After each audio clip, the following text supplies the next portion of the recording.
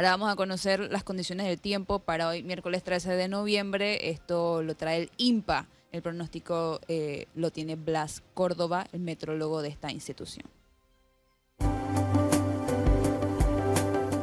Muy buenos días. El IMPA les presenta las condiciones y los pronósticos meteorológicos para el día de hoy, miércoles 13 de noviembre. La convergencia se localiza sobre el Pacífico al sur de México y del istmo centroamericano, cruzando entre Nicaragua y Costa Rica hacia el Caribe panameño. Está interactuando con la onda tropical número 42 de la temporada que se está desplazando hacia el oeste muy lentamente a 18 kilómetros por hora. Se espera que en las próximas seis horas estará incursionando sobre nuestro país. Los sistemas de baja presión sobre el Caribe se están profundizando y se están organizando en un disturbio tropical que tiene entre 60 y 90% de probabilidades de convertirse en un ciclón tropical para los próximos dos a siete días. El pronóstico del estado del tiempo para el Caribe. En la mañana se esperan lluvias generalizadas sobre el sector centro occidental de la vertiente. Para el Pacífico se esperan lluvias generalizadas en todo el litoral. Para la tarde se espera sobre el Caribe que se mantengan las lluvias con algunos eventos de aguaceros acompañados de actividad eléctrica sobre la parte centro occidental de la vertiente. Para el Pacífico persisten las lluvias intermitentes sobre toda la vertiente. En la noche se esperan eh, cielos parcialmente nublados sobre el Caribe, algunas lluvias y aguaceros aislados sobre el extremo noroccidental de la vertiente. Para el Pacífico se esperan lluvias sobre la parte central del país y aguaceros acompañados de actividad eléctrica sobre el Golfo de Panamá, la comarca Nobel, las tierras altas de la provincia de Chiriquí, algunas lluvias aisladas sobre el centro sur de Veraguas, tierras bajas y el Golfo de Chiriquí. Las condiciones eh, marítimas tenemos advertencia por vientos, oleajes y mareas de resaca en ambos litorales en la mañana y en la tarde. Las temperaturas extremas estarán oscilando en 22 grados Celsius la mínima y en 30 grados Celsius la máxima. Los índices de radiación ultravioleta estarán oscilando entre moderados y muy altos. Para mayor información, favor visitar nuestra página web y nuestras redes sociales. 6.33 minutos de la mañana. Profesor, buenos días. Buenos días, señor Gonzalo Lázaro, y buenos días a los amigos y amigas oyentes de Arca Media en directo y de Panamá en directo, así como a nuestros amigos de Ondas Chiricanas allá en David Chiriquí. También a los que nos siguen en las redes sociales y en las páginas web de esta emisora y de este programa. Hoy, miércoles, ¿no? Es miércoles, 13 de noviembre. Señor Gonzalo, feliz día del periodista. ¿Ah, sí? Sí, feliz día, Gonzalo. Hoy es el día del periodista, en Panamá. En Panamá, sí. En Panamá es el día del periodista. Saludos al señor Jorge Luis Sánchez, a Mirna Ortega, a Alejandra Rodríguez, a Icar Reyes. ¿A quién más? Al señor Lemos Jiménez. A Lemos Jiménez. Eh, al señor Johnny Mosquera, que se unió a nuestro equipo. ayer, que son periodistas vinculados a esta. Alejandra. Ah, bueno, pero para. Bueno, dije, sí. Alejandra, ah, sí, tengo a Alejandra. ¿Qué le pasa, Melissa? Bueno, yo lo digo nuevamente a la señora ah, bueno, Alejandra si Rodríguez. si te quieres repasar la lista, lo puedes hacer. Puedo decir un comentario que me van a, va a generar ruido. ya me están atacando en el chat. ¿Qué pasó ahora? Es porque, si no ha dicho nada. Es porque Panamá celebra todos los días diferentes del mundo. Día Pero de la no madre puede. diferente, Día del niño diferente, Día del periodista diferente. Bueno, somos, somos, únicos. Pero sí, el día del periodista únicos. de aquí. De aquí, por Si hay un día mundial del periodismo, ese problema es el día mundial aquí. Pero ¿será que me- eh, los gremios me dejarán celebrar porque soy extranjero el Día del periodista de aquí? Pero usted es periodista aquí o donde esté, ¿o No, no? está bien, claro. Yo estoy Eso es lo que yo creo, ¿no? No, yo- no pasa nada. Hombre, es una profesión que tiene más vigencia que antes para mí, para en mi análisis. Hoy tiene más vigencia que nunca antes con esta historia de las redes sociales y del internet y de toda esta, toda esta parafernalia donde todo el mundo escribe exactamente lo que le da la gana y todo el mundo considera que está, está preparado para informar. Eh, yo creo que esta profesión hoy por hoy tiene más vigencia que antes. Antes porque tenía el monopolio de la información. Ya los medios han perdido ese monopolio de la información. Sin embargo, no es lo mismo información manejada por una persona que ha sido preparada para precisamente eso, para manejar información, para tener la veracidad que cualquier ciudadano común y corriente, como cualquiera de nosotros que no somos periodistas y simplemente, ahí va, dale, publica lo que te da la gana. Pon ahí que fulano es ladrón, que fulano es narcotraficante, pero tú tienes la prueba, no, pero públicalo. Un periodista no hace eso. A ver, un buen periodista, porque como en toda profesión los hay muy buenos, como los hay malos y perversos. Pero yo hablo sobre los buenos, yo no hablo sobre los malos.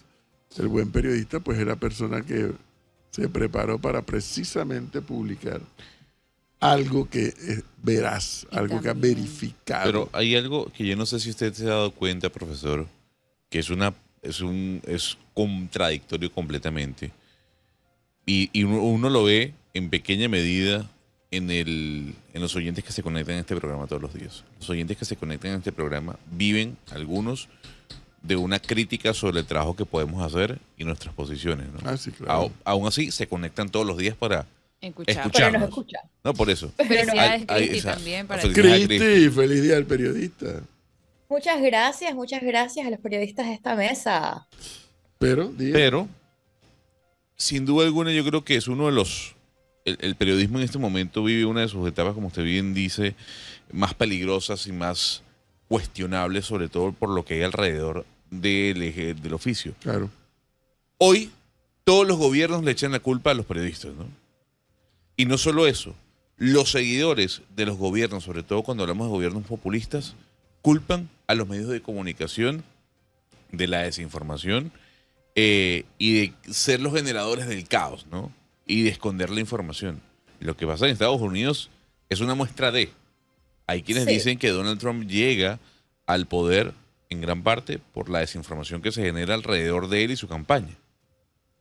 pero no de ahora. O sea, yo creo que, que con eso sí es cierto. Eh, ojo, yo no creo que es necesariamente un fenómeno nuevo. Yo creo que todos los gobiernos populistas, no populistas, tienes que ser un gobierno muy demócrata para cuando un medio te critique, no querer echarle la culpa. Y siempre los medios han sido, creo que yo, históricamente, eh, el conejillo de India o el, eh, la cuerda fácil donde cortar cuando los gobiernos quieren consolidarse en el poder. Por eso cuando llegan las dictaduras, ¿qué es lo primero que hacen? ¿Qué es lo que tienen, lo que tienen en común los autoritarios de izquierda y los autoritarios de derecha? Es siempre eh, pelearse con los medios de comunicación, cerrar los medios de comunicación, ecla- declarar los enemigos del pueblo. A ver, ejemplos de eso no- abundan a través de la historia, no es nada particularmente nuevo. Yo creo que, sin embargo, los medios de comunicación y los medios de comunicación tradicionales sí están pasando por un momento eh, donde uno, sí es verdad que han perdido, con razón o sin ella, eh, la confianza del público en general. Y no solamente en Estados Unidos, el caso no es solamente realmente de los seguidores de Donald Trump. Cuando uno ve a través de las métricas, sobre todo en las personas más jóvenes, eh, la confianza de los medios de comunicación es cada vez más baja. El 40% de las personas por debajo de 25 años en Estados Unidos consumen sus noticias por TikTok. Eh, y yo creo que a los medios les ha tocado Bueno, tratar lo de... que queda por ver, Cristian, si son noticias. No, pero es que eso no importa. Así es como consume la noticia. Porque no no, es lo mismo consumir noticias que consumir información. Bueno, es el Bueno, debate. así es el como ellos debate. consiguen, co- eh, eh, consumen su información. O sea, yo tenía otra vez, hace un tiempo, mi primito me decía que él había entendido todo el conflicto de Israel y Gaza por todo lo que veía en TikTok. Y entonces estamos, en el fondo, estamos de cierta manera eh, a las manos del algoritmo. Pero también sí es verdad que hay un descontento anteriormente a que llegara Donald Trump, cuando vino la campaña de Barack Obama, que fue la primera campaña realmente en apoyarse en las redes sociales, en ese momento se dijo que Barack Obama tampoco jamás hubiese llegado al poder si no hubiese existido la campaña de redes sociales que pudieron hacer, porque en ese momento quienes guardaban la información, los grandes cadenas de, eh, de información en Estados Unidos, yo no, no, me consta que es cierto ni sé si es cierto, pero la primera campaña y muchos de los argumentos de analistas que dicen es Obama tampoco hubiese llegado al poder si no hubiese sido a través de las redes sociales. Lo que pasa es que con Donald Trump vimos la otra cara y es cómo creando desinformación. Yo creo que eso se probó bastante porque Rusia ha probado hacer esto, no es solamente en la campaña de Estados Unidos, lo hizo con Brexit, lo hizo en las campañas de Francia, lo, ha conseguido como estrategia y creo que cuando fue lo de los influencers, que se descubrió que los influencers, una serie de influencers de TikTok cobraban a una agencia que estaba pues fondeada por Rusia, encontraron esta manera de crear caos en el mundo occidental a través de las redes sociales. El, punto es, profesor, eh, frente a lo que dice Cristi de la, de la información que se toma, cómo se toma y quién la consume, es el debate que se da sobre las redes sociales. Por ejemplo, ¿Twitter es un medio de comunicación o no lo es? No. No lo, para usted no, Para usted no, lo, es. Para otras personas sí es un medio de comunicación eh, porque tiene políticas, eh, sobre todo no en esta era en donde Elon Musk ha abierto el chorro para que la gente diga lo que se le venga en gana. Pero cuando estaba Jack Dorsey como CEO, eh, pues había un límite y las personas que violaban eh, digamos, los cumplimientos que usted acepta cuando baja la aplicación, pues salían de la red. Entonces decían, bueno, esto sí no es una plataforma, esto sí ya es una red social. Entonces la pregunta es, eh, una red social no, un medio de comunicación. La pregunta es, entonces las redes sociales son medios de comunicación? Editorializados además. Eso es una, bueno, pregunta. Ese es el debate que todavía los gobiernos no han podido resolver y hay las distintas maneras en las que los distintos gobiernos están haciendo. Por ejemplo, el, la Corte Suprema de Justicia de Brasil ha tomado un, una fórmula distinta completamente a la fórmula que, por ejemplo, hay en Estados Unidos, donde la libertad de expresión es casi absoluta. Es muy distinto también a la manera en la que Europa regula sus medios de comunicación. Acá en UK, a diferencia de Estados Unidos, que esta figura no existe, por ejemplo, Fox News no puede funcionar. Incluso trató de abrir acá, pero como las reglas, de, entre comillas, de balance de las noticias son tan estrictas y hay un ente que regula esto, eh, Fox News no pudo funcionar en UK, mientras que en Estados Unidos no funciona así. Yo creo que en este momento lo que pasa es que los distintos gobiernos están tratando de entender cuál es el límite. En Estados Unidos prácticamente la libertad de expresión no tiene límite. Acá está muchísimo más regulada. Se llama eh, Ofcam, la ente que regula y cada, cada noticia tiene que presentar los dos puntos de vista, si no el medio de comunicación puede ser reportado. Entonces yo creo que, creo que el mundo está tratando de encontrar, está tratando de encontrar este balance, a dónde está el límite de libertad de expresión, donde no está el límite de libertad de expresión. Lo que ha pasado con X, por ejemplo, es que después de las elecciones, una de las grandes cosas que pasaba en X es lo que llama Academic Twitter. Los académicos usaban su red eh, social por excelencia para comunicarse entre ellos, para poder también eh, diseminar los nuevos, eh, las nuevas investigaciones, era Twitter. Desde la la elección se ha mudado exactamente porque se ha convertido en un ambiente un poco más tóxico, se ha mudado a otra red social que se llama Blue Sky, que lo que está tratando de hacer es como un Twitter, pero para, en lo que se usa básicamente eh, gran parte de académicos. Entonces, yo creo que estamos tratando de encontrarnos y lo que pasa, y lo que sí me parece a mí más preocupante de todo el debate, tanto de medios de comunicación como de redes sociales, es que nos estamos convirtiendo en pequeños echo chambers.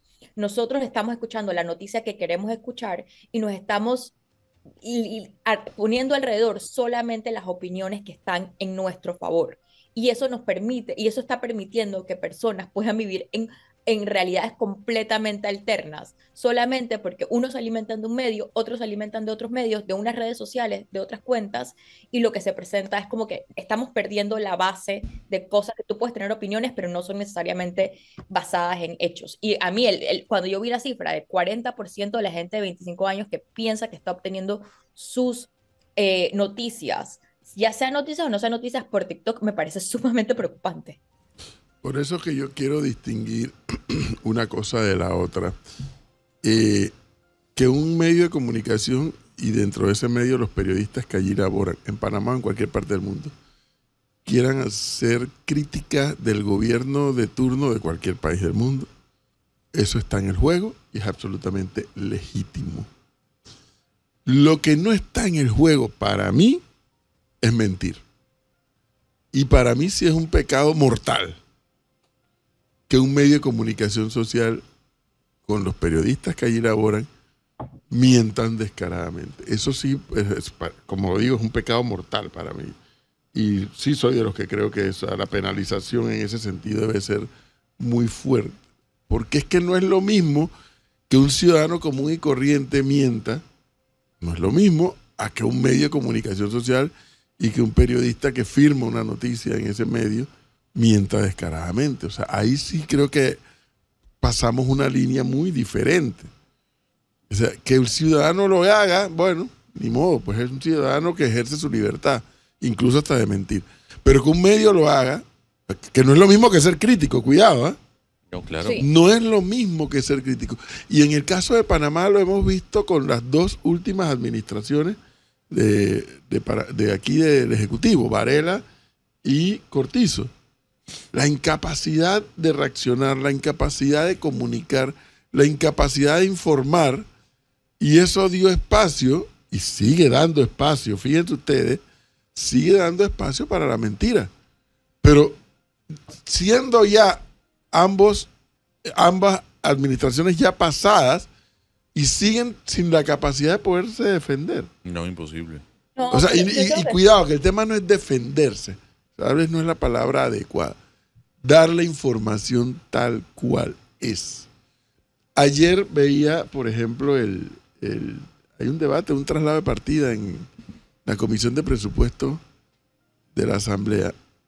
Era un traslado de partida en el IFARU. Correcto. Y vuelta y traba con los auxilios económicos. Y vuelta y traba, tiran manto parejo a todo por igual. Y los diputados, algunos por politiquería, otros por ignorancia, eh, se van en el juego y los medios siguen detrás del juego y se sigue tirando un manto parejito para todos. Y yo sigo pensando que no es ni justo ni correcto decir que todos los auxilios económicos están en igualdad de condiciones. Pero no se hace la distinción. Pero aquí a mí me parece que hay dos casos muy interesantes de lo que yo creo que siendo crítica en general de los periodistas y los medios de comunicación en Panamá, que a mí me llamaron mucho la atención.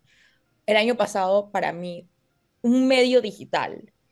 Me pareció que la cobertura que le hizo antes de que José Raúl Mulino fuera presidente a los hijos de José Raúl Mulino fue algo muy injusto.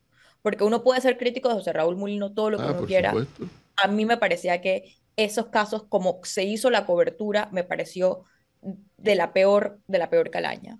Y segundo, a mí no me deja de, no me deja de chillar también cómo ciertos medios de comunicación le hicieron la cobertura al tema minero. Y eh, uno puede estar de acuerdo con la mina, uno puede estar en desacuerdo con la mina. ambas, ambas posiciones son completamente válidas. Sin embargo, en mi parecer, en el país se hizo una especie como de activismo. Y otra vez, yo tengo mis, mis, pensamientos acerca cuando un periodista es activista o no, pero también uno puede tomarlo como es. Pero lo que yo sí vi, más que no solamente mentiras, vi fue una irresponsabilidad enorme en el manejo de la información para tratar de aplacar a un punto de vista. Y uno podía defender ese punto de vista, en mi opinión, sin tener que, no, no, no quiero decir como transversar la opinión, pero no dar la, la información de una manera completa para que los ciudadanos realmente supieran qué es lo que, se, lo que estaba en mi opinión, Yo creo que algo que ha, que, ha, que ha pasado también es que a todos nos enseñan, los que estudiamos algo relacionado a la comunicación, tres principios. Educar, informar y, y entretener. Y eso a muchos se, le se les ha pasado, se les ha olvidado y eso es algo que me parece que va relacionado mucho a lo que Cristi ha estado comentando, que siempre buscan solamente un lado de lo que ha estado de lo que ha pasado o solamente buscan atacar. Pero en dónde está la parte de informar y de educar a las a- las personas que para eso sirven más que todos los medios de comunicación. Y ot- otra cosa que había comentado Cristi que de acuerdo con, con- de que de acuerdo con ella que es preocupante la forma en la que hoy día se está están las personas obteniendo información. Sí es preocupante, pero también nosotros no podemos como medio quedarnos atrás de todas las nuevas plataformas, porque si ya estamos viendo que esa es la forma en la que las personas están consumiendo noticias, debemos intentarlo también, pero con los principios, informar y educar. Y también la- las personas tienen que discernir cuál es el medio que mejor les parezca para poder obtener información. Hay un doble moralismo en nuestros países de América Latina Total. Que es abismal. Ese doble moralismo que señala a los medios de comunicación por tener una línea editorial, pero que aplaude cuando Fox o CNN dicen lo que ellos quieren escuchar. Los medios de comunicación tienen líneas editoriales. Líneas editoriales. El medio de comunicación puede tener una posición sobre un tema. Y eso se ve sobre todo en los países de primer mundo. No en nuestros países que tenemos ese debate todavía, eh, tal vez algo atrasado. El medio de comunicación se divide en dos, sobre todo el- en- cuando hablamos del medio escrito, profesor, y usted lo sabrá más que, que nosotros. Está la línea editorial basada en la opinión de cada uno de sus columnistas y del board eh, editorial, que tiene una posición sobre temas. Y está la otra parte, que es la narrativa de la noticia per se. El New York Times tiene una posición clara en el tema editorial sobre sus opiniones acerca de Donald Trump y compañía si vamos a hablar de, esa, de ese tema. Lo mismo tenía el Washington Post hasta que Jeff Bezos, que compró el periódico, decidió que esa posición iba a cambiar. Entonces, a mí lo que, lo que eh, y entiendo el punto de Cristi y el de Melissa, en, que hay de alguna u otra manera que enfocarse en las nuevas tecnologías, porque hacia allá está yendo el mundo. Pero también hay que decirle a los oyentes que no podemos ser do- doble moralistas y no podemos estar hablando de que es que los medios no tienen equidad cuando son muchos oyentes los que aplauden la posición de Fox o de CNN porque dicen las cosas como ellos quieren escucharlas, sobre todo el lado más conservador. Eh, y eso hay que señalarlo. Pero Gonzalo, yo no creo que una cosa, yo creo que una cosa no va en contra de la otra. A mí, por ejemplo, a mí, eh, yo fui fanática por muchísimos años de los editoriales de la prensa, por ejemplo, que ha hecho editoriales toda la vida. Eh, a mí, lo- los grandes editoriales de la prensa, escrito en su momento por, para mí, grandes directores que tuvo la prensa, fueron en la época Martinelli, en la época de lectora, son, son cosas de estudio. El mejor ejemplo de un medio de comunicación que es famoso por sus editoriales, que su editorial va por un lado y su, y su información va por el otro, el famosísimo es el Wall Street Journal, que tiene un consejo editorial sumamente conservador y el periódico se dedica a dar la noticia. Esto, a mí no me parece que una cosa va en contra de la otra. Todos los En medios lo absoluto, para pueden- nada. tienen, tienen la capacidad de, en exactamente en sus editoriales, escribir sus posiciones. Exactamente. Y otra cosa es cómo presentan o no la noticia. Entonces, yo creo que las dos cosas siempre han convivido de una manera que, pues, como siempre han convivido. El editorial, el consejo editorial escribe la posición editorial del medio y por otro lado va la cobertura de Cristi, sí, yo estoy de acuerdo con, y, lo, y lo acabo de decir. Y sobre todo dije en- en medios escritos. Pero el problema es que en nuestros países, si usted pone, tiene una posición, fíjese bien, pasa en este programa. Si usted y mi persona tenemos una posición que se acerca más a las ideas del Partido Demócrata, es que este programa Es es, pro- democrático. es- Ajá. es progresista. Si decimos todo lo contrario, no, es que este programa es ultra conservador. Pero a ver, es que en la variedad de, de opiniones está, digamos, lo, lo bonito de poder sacar la información que uno le quiere quedar. Pero no podemos Bueno, venir con un debate, con un debate doble moralista de decir, ah, no, es que allá están vendidos. Pero aplauden cuando Fox News o CNN dan una noticia. No, pero Gonzalo, en esta mesa además hay cuatro opiniones totalmente distintas en todos los, prácticamente todos los temas. O sea, aquí, hay, aquí estaríamos representados casi en, en, toda la, en toda la balanza ideológica, pero a ver, es lo mismo que yo siempre digo que el problema de Venezuela, que para mí siempre ha sido un, algo de, estudio, de verdad, ¿eh? no fue el socialismo, entre comillas, fue el autoritarismo. El autoritarismo acabó con Venezuela, acabó con el país, porque si tú hubieses tenido un gobierno socialista que después de 5 o 10 años se va, no pasa nada porque tú retomas las políticas y arreglas la economía si hubieses podido cambiar el gobierno, pero no lo pudiste cambiar.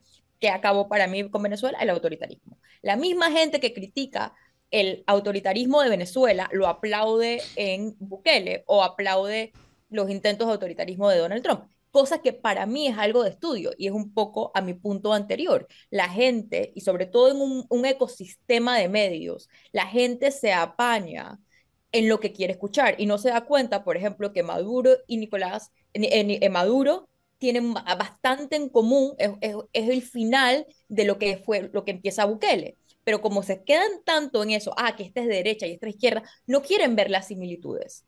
Pero, pero ahí está, ahí está, problema, ahí está. El tema, usted ha dado un ejemplo claro, un ejemplo claro del doble moralismo de algunos oyentes, no solo en este programa, en realidad en contra de los medios de comunicación. Usted señala un ejemplo claro, Nicolás Maduro, el autoritarismo alrededor del chavismo durante 25 años, hoy en la cara de Maduro, un señor que se robó unas elecciones. Pero ¿qué pasa? Cuando usted habla de las violaciones o no, si es que lo quiere llamar así, o los saltos que ha hecho Bukele y compañía en El Salvador, no, es que le caen encima. No, es que usted no entiende que la gente ama a Bukele. Pues sí, la gente ama a Hugo Chávez y eso no le da el poder para. Lo que quiero trasladar con el ejemplo muy bueno que usted trae es que el, estamos en un momento en el que si usted no dice lo que la gente quiere escuchar, usted está al lado de mentiroso, vendido, arrastrado. No sé si me explico. Cuando... No, sí, yo, yo, no creo que es necesariamente doble moralismo. Lo que pasa es que sí nos estamos acostumbrando en una sociedad a ver solamente un lado de lo que nosotros sí, queremos ver. Eh, vemos el comentario. Sabía que apenas que yo toco Bukele en, en el chat, eh, no pues. se, se, disparan. Pero, pero es claro, que, que, Bukele no se robó unas elecciones, no, pero Bukele controla la Corte, cerró la Corte Suprema de Justicia, cerró la Asamblea y controla el país. Eso mismo hizo Hugo Chávez en su momento. Unos se tiñen de derecha y otros se tiñen de izquierda. Y nosotros como seres humanos tenemos más tolerancia a actitudes autoritarias si esa persona, sea de derecha o sea de izquierda, se alinea más a lo que yo creo ideológicamente. Y eso es un poco lo que pasa con los medios de comunicación. En este medio, por lo menos, aquí lo que, lo que pasa es que aquí hay cuatro opiniones completamente distintas. Hay una, una cantidad de temas en las que nosotros tenemos totalmente opiniones distintas. Y por lo menos escuchan distintas opiniones.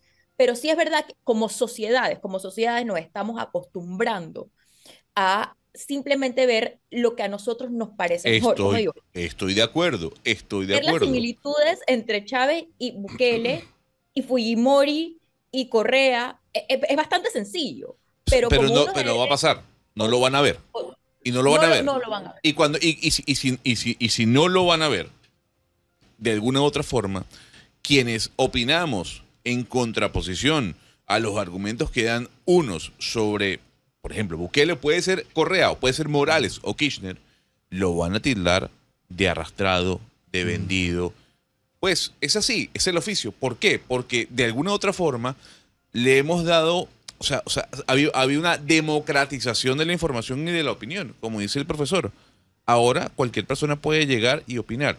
Melissa tiene una clara postura sobre la libertad que tiene alguien de decir lo que le venga en gana. Yo creo que no. Yo creo que la persona no puede llegar al chat de Panamá en directo a decir improperios en contra de usted, de Melissa, del profesor o de mi persona. No puede. No puede. Bueno, siempre hay que distinguir el tema de las opiniones de lo que es el manejo de la información propiamente. Por supuesto. Información, eh, opiniones todas. Pero la información de que si está ocurriendo este, el hecho es este, el hecho es este independientemente de mi opinión. Por este supuesto. es el hecho que está ocurriendo. Ahí, ahí no cabe la opinión, la opinión viene después. Eh, y eso es lo que tal vez algunos consumidores de medios o consumidores de información o consumidores de noticias, o que tal vez algunos periodistas incluso que a pesar de poder estar bien preparados, eh, académicamente, no pueden poner la línea divisoria. Yo, yo sería incapaz de criticar a un periodista por dar su opinión. Ese es su derecho.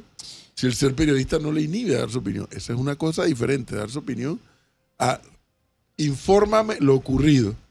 Después, Da tu opinión. dame tu opinión. Claro. Inf- primero infórmame lo que ocurrió para yo formar mi criterio. Y luego, si yo quiero, si yo quiero, yo voy a escuchar tu opinión. Pero es que. Y, Y es que mucha gente no sabe hacer esa separación. Hay- pero ahí Pero- hay, un, pero hay hay un punto, y ya le doy la palabra a Cristi, para que los oyentes entiendan.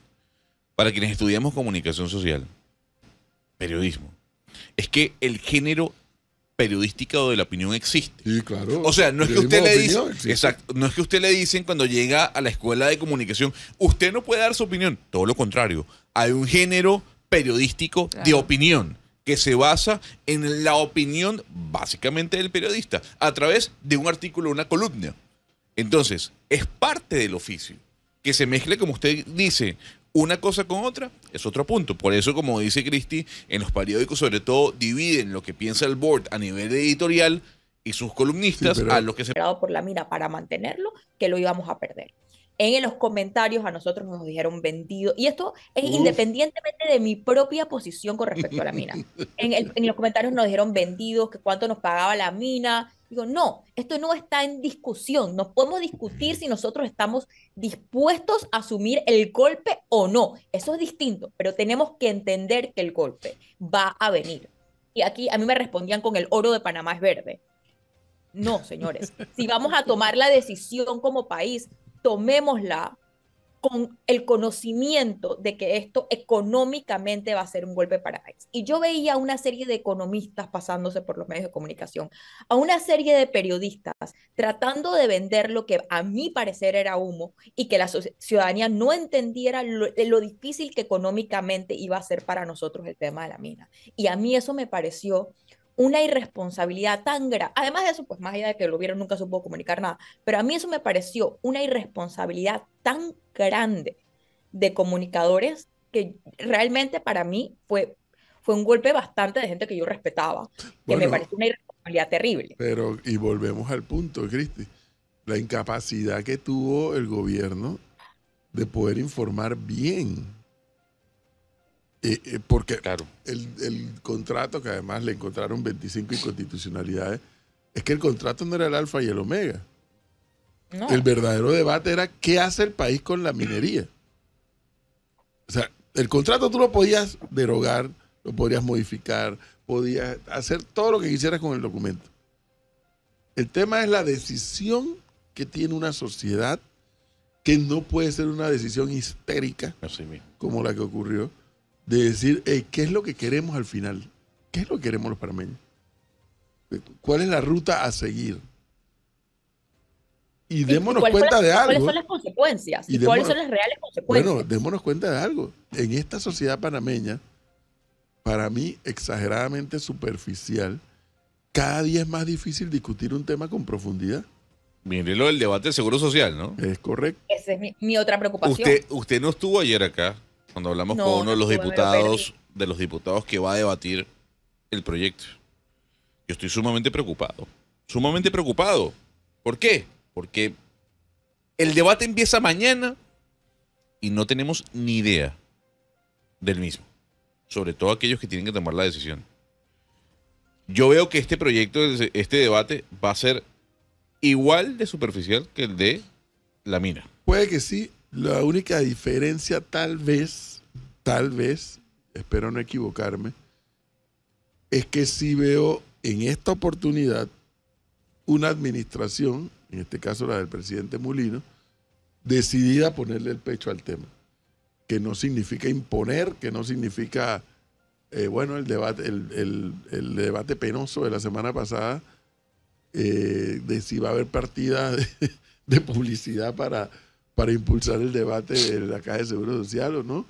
Eh, yo, a diferencia de Cortizo y de Varela, veo a un presidente y a un equipo de gobierno muy decidido a ponerle el pecho al tema y eso pues va a generar, ¿qué va a generar eso? No solamente una discusión y un debate adecuado, va a generar la información adecuada para que la gente que es el sujeto y objeto de ese debate, de esa ley, la gente, el panameño, hombres y mujeres, e incluso, como lo he dicho, hasta los extranjeros que aquí viven, porque serán afectados de una manera u otra por la decisión de esa ley, lleguen a su propia conclusión también. No veo al gobierno de Molino eh, utilizando la estrategia de Cortizo y de Sí, Varela de eh, mirar para otro lado pro- con los grandes temas que tiene por delante. Sí, profesor, pero es que yo le voy a decir algo. Mulino y su equipo hizo la tarea, o hicieron la tarea, que era sentarse, abrir estas mesas de discusión para que luego de la discusión se presentara el proyecto de ley. El trabajo del Ejecutivo, check, ya terminó. Ahora viene el, el- el- el legislativo. Sí. Y ahí Mulino y compañía no se pueden meter. No deberían meterse, ¿no? No, sí se pueden. ¿cómo no se bueno, a meter? defender el proyecto. Te lo he explicado. El, el Ejecutivo tiene iniciativa legislativa. La iniciativa es de del. Ejecutivo. Sí, perfecto, perfecto. Pero ellos tienen voto. No. Pero si vos. Ok, pero ¿tienen voto? No. Pueden decir lo que quieran, pero no tienen voto. Pasó como en la mina. Entonces, la responsabilidad de aprobar el proyecto no está en manos del Ejecutivo. Está en manos Sí, de los diputados que van a debatir. Dime, por ejemplo, Ajá, dime, por ejemplo, en el caso de la mina, ¿tú no percibiste al ministro de Comercio como el Ejecutivo lo dejó solo? Sí, Totalmente, Sí, totalmente. Tan abandonado, a su suerte. sí. Yo no estoy viendo con el seguro a un director del seguro y a un ministro de salud solos. Eso es lo que hasta el día de hoy, 13 de noviembre, es lo que estoy percibiendo. De hecho, la presentación ante el órgano, ante el pleno del legislativo, se presentó el ejecutivo en pleno. Todos los ministros, nada más faltaba el presidente. Se presentaron todos los ministros allí a, eh, a- hacer causa común con la presentación del documento. O sea, el ministro de Comercio de la administración Cortizo estaba solo y abandonado. Creo que ahí ves una diferencia de actitud. Ahora, no es lo mismo, y en eso sí tengo que estar de acuerdo contigo, es- sería inaceptable para mí que el Ejecutivo prete- pretenda imponer el documento a rompe y raja. Eso sí Como lo hizo- inaceptable. como lo hizo también de cierta manera, yo creo que esa parte del problema de la mina sí fue cómo ese, ese documento se terminó aprobando en la Asamblea Legislativa. Y aquí es donde, aquí yo quiero, si nos están escuchando, para mí es muy importante el papel que, vamos, que va a jugar Vamos. ¿Por qué? Porque Vamos tiene como una doble responsabilidad, en mi opinión. Yo creo que sí, el gobierno está tratando de ponerle el pecho a este proyecto, que no, como escuché a alguien decir, no es el proyecto perfecto, pero es el proyecto viable. Y aquí es donde vamos, tiene que jugar su papel con mucha responsabilidad. Primero porque tiene que entender la situación, tiene, que empaparse, aprender y estudiar bien la situación real. Para cuando haga los cuestionamientos en el debate del seguro, sean cuestionamientos, porque lo tiene que hacer, porque tiene que, tiene que pasar un debate saludable por la Asamblea Legislativa, porque es un proyecto de ley controversial. Entonces, tiene que haber y tiene que salir de la Asamblea Legislativa un proyecto saludable. ¿Por qué le asignas a Vamos esa responsabilidad, Cristi? Por- porque, porque, porque Vamos tiene el papel en el fondo de ser, uno, la bancada minoritaria mayoritaria, y dos, porque en teoría es la bancada, en mi opinión, real de oposición, ¿no? O sea, es, es realmente la oposición. Entonces, yo le estoy asignando en este momento a Vamos el papel de oposición.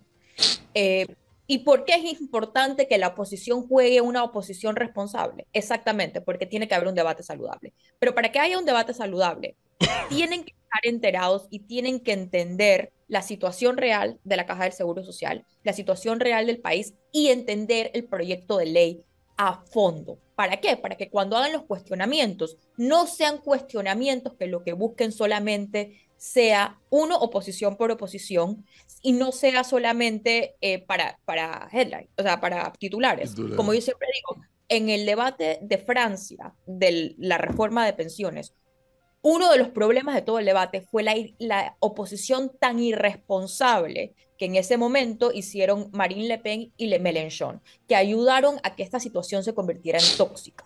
Aquí la oposición, y aquí se le estoy designando a Vamos, el papel de oposición, tiene que hacer una oposición responsable. Y allí hay un problema antes de darle paso a nuestro, bueno, invitado no es porque ya es parte de la casa. Aquí hay un problema, Cristi. Si vamos confunde este debate trascendental para el país, como lo es el de la ley de la Caja de Seguro Social, con su proyecto de crear un partido político, se enredó el asunto. Porque para nadie es un secreto, bueno, para mí no es un secreto. Y no es porque me lo hayan dicho, sino por mi, mi propio análisis, que vamos en este, en este quinquenio, en algún momento anuncia la creación de su partido Sí, político. señor, confirmado. ¿Eso es criticable? No. ¿Es legítimo? Sí. ¿Es Vale. válido? También. ¿Es políticamente correcto? Para mi gusto, lo es. Políticamente correcto crear un partido político por parte de Vamos. Pero si en aras de inscribir un partido, yo tengo que oponerme al Seguro Social y tengo que decir lo que me da la gana contra el Seguro Social, ahí nos jodimos. El cortocircuito sería brutal. La pregunta es, Y eso ¿dónde- es lo que me preocupa porque así como veo a diputados de Vamos con un nivel de responsabilidad real, veo a otros diputados de Vamos con un nivel de irresponsabilidad y de espectacularidad también real. le pregunto, ¿usted cree que algún diputado vamos se le va a parar enfrente a Juan Diego Vázquez a decirle yo no voy a seguir la línea de la tolda en la asamblea? Es el problema de ellos. Yo no, me atrevo a, a responderte eso. Por- pero ¿a qué Porque- sacas a Juan Diego? No entiendo por Porque, qué. uf, bueno, pues, no se haga el cándido, porque las, deci- las decisiones que se han tomado en la Asamblea Pero Nacional ¿qué en me bloque... quieres decir con el tema en- del Seguro Social? ese- Que Juan Diego va a poner por encima, inscribir el partido por encima del Seguro Social. no, que la, la opinión de Juan Diego es la que va a regir sobre el partido. Pero te pregunto, Ajá, yo te devuelvo dígame. la pregunta, ¿qué es lo que estás pensando? Que Juan Diego va a poner por encima la expectativa de crear el partido de Vamos Que Juan por Diego- encima del Seguro Que Social. Juan Diego va a poner por encima su opinión frente a lo que pueda ¿Y pasar. cuál sería entonces la opinión de Juan Diego, crees tú? Si hasta ahora tú dices creer que Juan Diego es el que ha inducido a Vamos a estar en el bloque que ha estado hasta ahora. Pues porque fuentes lo han dicho. Sobre todo Que se la- van a oponer al seguro. No, que se, han, que se han opuesto, por ejemplo, a la designación de Dinomón. La pregunta es, Mi pregunta. sí señor, le estoy diciendo Va, que eh, Juan, Juan Diego, va a marcar la línea. Y, Listo. Y en tu opinión, los ¿cuál va a ser? Y los no sé cuál va a ser, pero los diputados Pero van a seguir la línea. Pero entonces, ¿qué quedamos? No, pero le estoy, le estoy diciendo, ¿habrá algún diputado que se le vaya a parar a Juan Diego Vázquez, sea la línea cual sea? En medio Varios diputados se le han pegado a Juan Diego a decirle que no están de acuerdo. Pero votan, Desde la elección de la Secretaría General de la Asamblea. pero votan diferente. Bueno, pero han tenido disciplina. Pero votan diferente. Ahora, mi pregunta, ya todo eso es historia. De lo que estamos hablando no es historia, es presente y futuro, que es el seguro social. Lo, que, lo único que yo planteo frente al argumento de Cristi que le asigna a la bancada de Vamos una responsabilidad muy particular es que yo digo que se puede generar un cortocircuito si en el análisis político de Vamos de crear su partido, lo cual es políticamente correcto crearlo, si van a poner por encima ese interés de crear un partido político y generar una inscripción rápida versus oponerse, avalar, mejorar el proyecto de ley de la Caja de Seguro Social. Ahí está el tema. Ahí es donde se separan los niños de los hombres. A mí, me, a mí, Ahí es donde se ponen los hombres los pantalones largos o los pantalones cortos. A mí el tema del En política. No, a ver, el tema, el tema del partido ya está confirmado que ellos van a ser un partido político.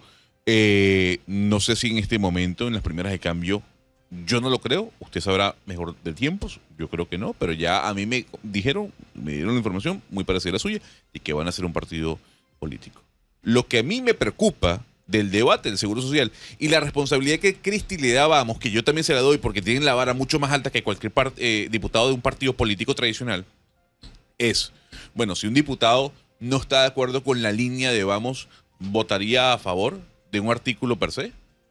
¿O todos los diputados van a votar en bloque según lo que diga el líder de la, de la tolda? Eso es lo que a mí yo me estoy- preocupa. Yo no estoy en desacuerdo con que las bancadas políticas tengan disciplina al votar. Lo que yo, lo que para mí, y la razón por la que estoy asignando esta responsabilidad es que las oposiciones, los grupos opositorios en las asambleas legislativas tienen un papel que jugar y también tienen responsabilidad de cómo se da el debate. Sí. Y entonces, mi tema es que con, con y la- las veces que yo he entrevistado lastimosamente a ciertos diputados de Vamos, siento que lo que pasa es que no están muy empapados en el tema.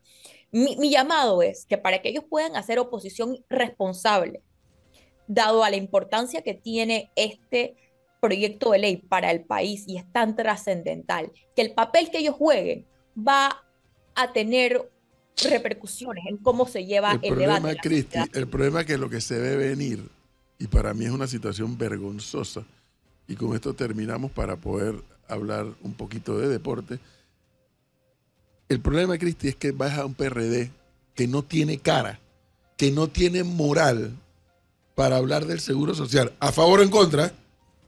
¿A favor o en contra? El PRD y detrás del PRD el panameñismo no tienen cara para hablar del tema porque tuvieron en su momento y no hicieron exactamente nada. No hicieron nada. Me refiero a la dirigencia actual del PRD. Todo indica que el PRD se va a oponer tenazmente al tema. Lo- los diputados me refiero. Se van a oponer tenazmente. Porque ellos han, políticamente o politiqueramente, han llegado a la conclusión de que eso es lo que les conviene a ellos, a los diputados del PRD.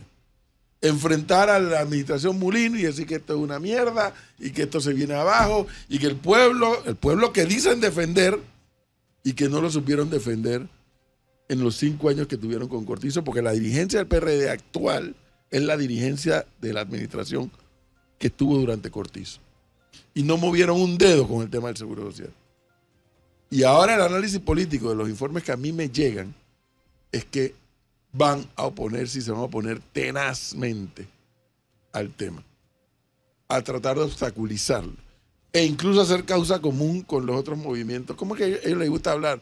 Los movimientos sociales, así le, gusta- le dicen ellos. Para, para no decir que son comunistas, socialistas, que yo no critico que sean comunistas, ni socialistas, ni nada, ni de izquierda. Ese es su derecho. Pero, ¿qué va a pasar cuando el PRD aprieta el puño contra las leyes, la- el proyecto de ley de la Caja de Seguro Social? Vamos, no se va a querer quedar, no va a querer quedarse atrás, Cristi. Y esa es mi preocupación Bueno, a la responsabilidad responsabilidad. que usted le asigna, vamos. Por eso que yo estoy pidiéndole, por eso que aquí, Pero por eso que mi comentario es, yo espero responsabilidad del de la bancada de Vamos. Y Es eso no es que ellos voten como yo quiera, pero que lo hagan, lo hagan de manera responsable y consciente y se lleve este debate de la manera Es más que, responsable. eso sí se lo tengo que reconocer. En materia político partidista, no es fácil asumir oposición responsable y que la gente lo entienda. Se lo digo porque lo viví en carne propia. Cuando Endara nos expulsó a nosotros de su gobierno, articulamos un discurso de eh, oposición responsable. Nadie en este país lo entendió. Eso fue en 1992. 91, 92, ya ni me acuerdo. ¿Usted cree que en el 2024 el panameño sí entiende oposición responsable? No lo entiende. Si no lo entiende el panameño, no lo entiende el político. Y lo que no se está entendiendo, y no estoy haciendo yo aquí eh, activismo en favor del proyecto de ley, pero sí tengo algo claro. Nos estamos jugando el presente y el futuro de este país con ese proyecto de ley. Te puedes oponer, puedes proponer, puedes mejorarlo, puedes empeorarlo, puedes rechazarlo también, pero tienes que saber lo que nos estamos jugando. Y es lo que yo ahí sí me, me da un nivel de estrés, el tratar de entender si la gente tiene claro lo que nos estamos jugando con este documento. Pero bueno, de esto todavía tenemos tiempo para hablar, porque ahora en unos minutos va a entrar nuestra invitada que se trae atrás de la profesora Maribel Gordón, quien nos va a exponer su versión y visión de lo que ha leído hasta ahora. Mientras tanto, ayer estrenamos programa. y además un estreno en, un, en una coyuntura muy particular. Deportes en directo, porque Arca Media, amigos oyentes, quiere rescatar la noche para la radio en este país. La radio, no sé por qué ha desaparecido en las noches de este país. Antes había programas de opinión, programas de todo tipo. Bueno, los brujos no, ¿no? Melissa me está impulsando a que contrate brujos, no. Eso, El de jazz del domingo, ¿lo ha pensado? No va a ocurrir. Domingo por la noche jazz con Gonzalo. Lo que pasa es que dice Foncho que él no está seguro que los domingos en la noche Quiera venir. pueda estar, a- no, puede estar habilitado. no que quiera venir, que puede estar habilitado. Pero ayer estrenamos Deporte en directo y el programa será eh, conducido por Miguel Ángel Cuadra y por Johnny Mosquera, quien está con nosotros ya conectado. Johnny, buenos días. Bienvenido. Y feliz día al periodista. están presentes en este momento, están escuchando el debate, buen debate. Se, se trata, se, se- se hace el esfuerzo. Se hace el esfuerzo. Johnny, háblanos un poquito rápidamente. Deportes en directo. Eh, bueno, a partir de anoche ya se estrenó, va a estar el equipo de eh, Miguel Ángel Cuadra, va a estar también obviamente parte del equipo de JM Deporte, haciendo una mezcla eh, para tratar de recoger un poco lo que ha pasado en el día. La mayoría de los programas de deportes, y de hecho también aquí hay un espacio, son horas del mediodía, entre 12 y 2 de la tarde. Luego de esa hora, y usted bien lo mencionaba, profe, prácticamente el tema, particularmente de deporte, pues ha desaparecido mucho más. Entendemos que hay noticieros hasta las 6, 7 de la noche, pero en el tema de deporte usualmente no, no hay programas y bueno, haciendo un poco el, el este análisis de poder llegarle a otra audiencia que tal vez a esa hora pues estuvo trabajando todo el día o está viajando. Eh, y bueno, ahí surge entonces el horario de recoger un poco lo que ha pasado en el día, lo que está pasando también, porque muchos aquí en Panamá consumen eh, deporte a nivel internacional, muchos en Estados Unidos, y entre 6 de la tarde, 8 de la noche o 8 de la noche están pasando muchas cosas, NBA, en su momento béisbol de las grandes ligas, eh, y es recoger un poco esa información y compartirla con toda la audiencia, habrá debates, análisis, las coberturas de, de lo que ha ocurrido en el día. Ayer tuvimos, por ejemplo, muchas entrevistas de lo que ha pasado con la selección de fútbol de Panamá estos días en, en Peronomel, días para muchos libres, pero eh, parte de nuestro equipo estuvo allí también dando la cobertura. Así que nos preparamos para un partido ante Costa Rica y bueno, va a ser justamente esta semana ese, ese partido, tal vez el que nos ocupe mayormente en el análisis, en el debate, eh, porque bueno, sabemos también lo que significa la selección de fútbol de Panamá para el fanático del deporte en general y los no tan fanáticos porque si hay, si hay, si hay algo que conecta mucho al panameño es justamente la selección de fútbol. Así que es una buena semana para arrancar.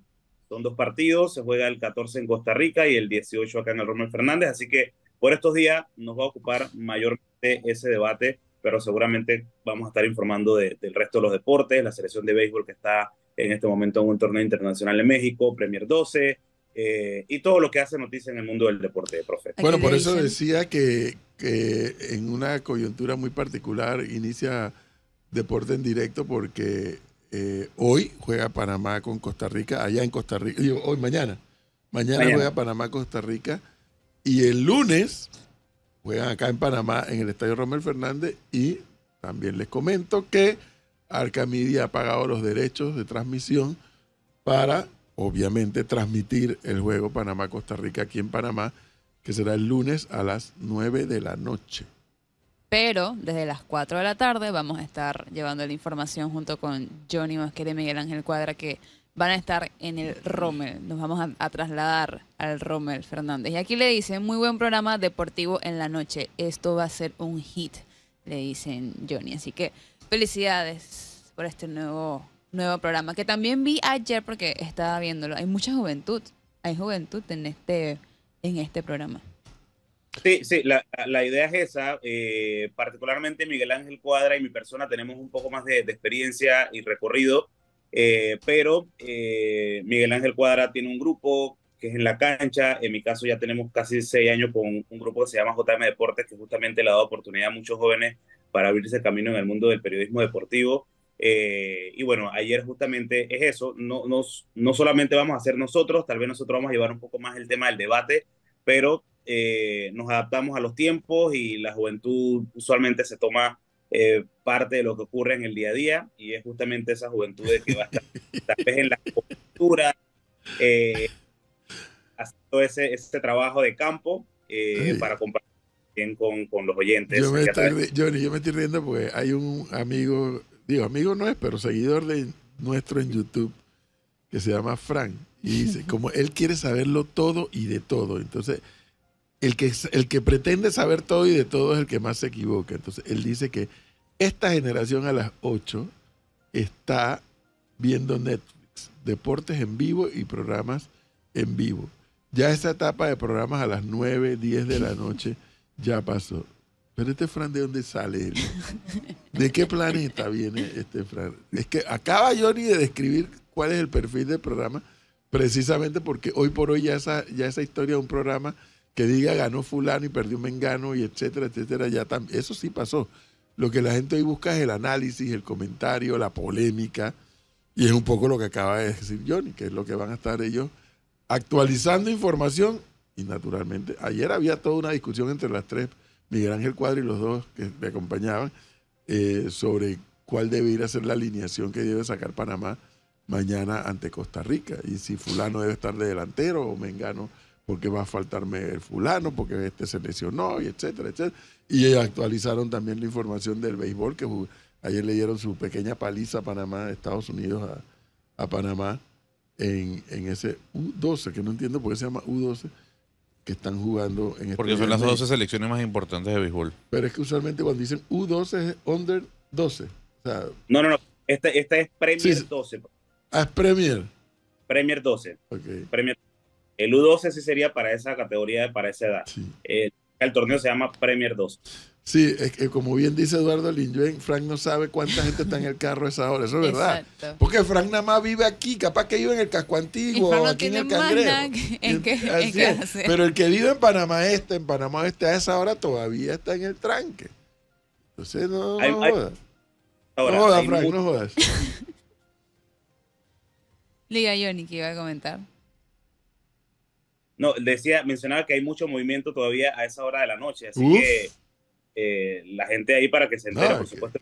El señor quedó Oye, en la década del 60. Están preguntando si habrá mujeres en el nuevo programa.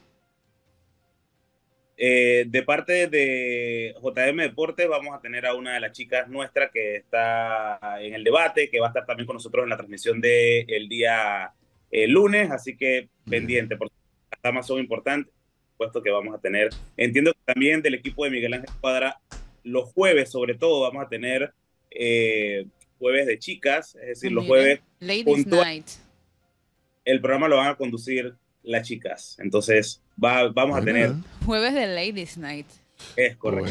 Bueno. Así que ya saben, ahora ya tienen al mediodía lunch deportivo con Lemos Jiménez y a las 8 de la noche deporte en directo con Miguel Ángel Cuadra y Johnny Mosquera. Gracias, Johnny. Muy amable. y nos escuchamos esta noche para seguir analizando. La selección viaja hoy a Costa Rica, así que esta noche seguimos el debate y toda la actualización de lo que pasa con la selección. Gracias. 7.31 minutos, ya saben, eso es todos los días de lunes a viernes a las 8 de la noche.